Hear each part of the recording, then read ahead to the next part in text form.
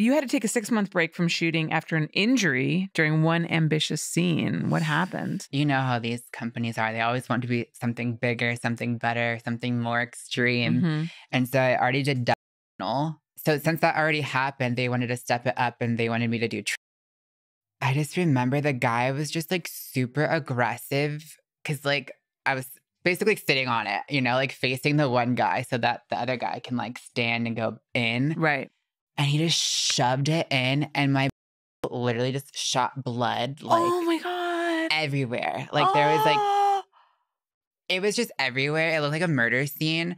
and oh. like it hurt so bad like i was in the worst pain that i had to like go to the hospital and they had to like put me in like emergency surgery like for and Oh. like they gave me a whole like they like stitch it up and did like a whole surgery on it but like for six months like to go to the bathroom was like Oh. the worst pain and like you have to clean it obviously or it'll get infected so just like i basically lived in a bath Oh, I hope he felt really oh, awful. Oh, he did. He like sent me flowers and like